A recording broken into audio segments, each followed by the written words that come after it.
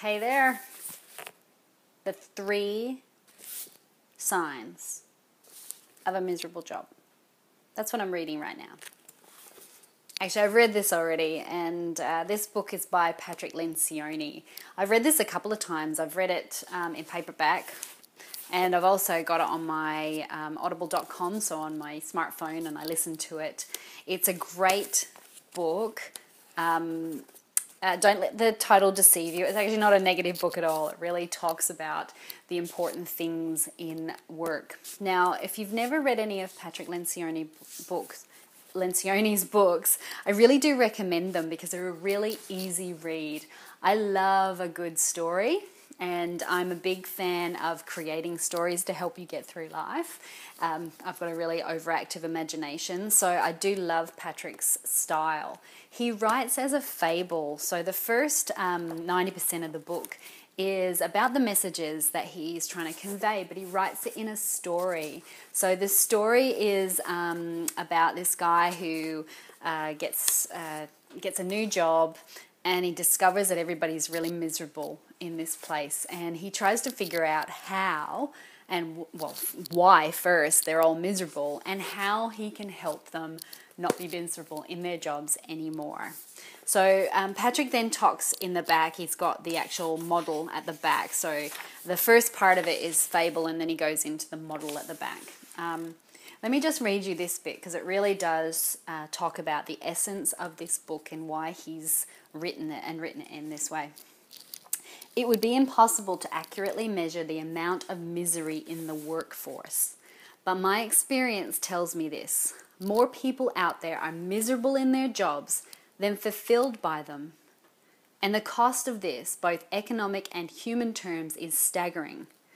And economically, productivity suffers greatly when employees are unfulfilled. The effects on a company's bottom line or a nation's economy are undeniable.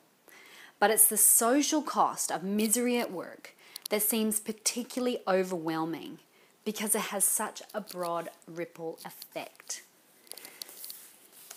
Now, I suspect that all of you have probably been in a job at one point where you've been absolutely miserable. So, what do you do? You go home and you take it out on the family, you take it out on yourself. You might have to have a glass of wine to get through, or you uh, call up a friend and whinge and moan at them. So, that's what he's talking about about the social ripple effect of misery at work. Now, throughout this book, it actually talks about a system for being able to stop yourself from being miserable at work. And he doesn't talk about just leaving all right? Because that's usually our get out of jail free card, isn't it? So we go, I'm really miserable in the workplace, so I'm going to bang out and I'm going to go get myself a new job and then I'll be all happy and lovely. Um, sometimes it's not as easy as that because sometimes the misery actually follows, follows you from job to job to job because you haven't actually addressed what's really, really going on. And I know I've had that experience myself. I've moved from one job to another job and basically ended up in exactly the same situation going, oh, hello, Michelle, seriously learn from your mistakes. So, this book is all about finding the enjoyment in your work without changing your work so much. It does talk about changing it a little bit and making improvements along the way. Um, one of the key messages in this that I have built into everything that I do, and I build it into every single one of my courses, is about self measurement. So it's not just about your company setting KPIs for you and you being able to meet them. He talks really strongly about having your own measurements for success. Now, for me, they are much more important than anything that somebody else can set for you. As long as you can measure your own personal success, then you're going to be a lot more satisfied and a lot less miserable in the workplace. Now, the examples that he gives in this, it's in a customer service style role. So, um, the example might be smiles on your customers' faces. That could be your measure of success. It's still important to meet the KPIs and make sure that your customer is seated in the right timing and that they get their meal within a certain time and all of those sort of things. Um, but he really talks strongly about having your own measures for success, and that might be the smile that you see on your customer's face because that's what gives you satisfaction and that's what gives you the ability to express your own success and your own satisfaction in your work.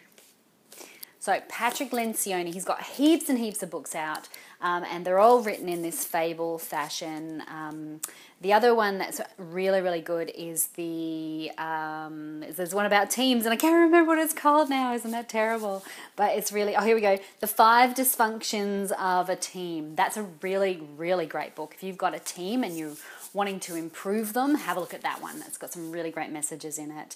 Um, Silos, Politics and Turf Wars, Death by Meeting. I've read them all. They're all amazing, um, and they are all read in this uh, written in this fable format, which I just love. It's my favorite way of reading a leadership book because it's really accessible and really easy, and I have a short attention span, so I like things that keep my attention. So, Patrick Lencioni, grab hold, have a look. You'll be surprised. The three signs of a miserable job. Maybe you're experiencing some of them. I hope not.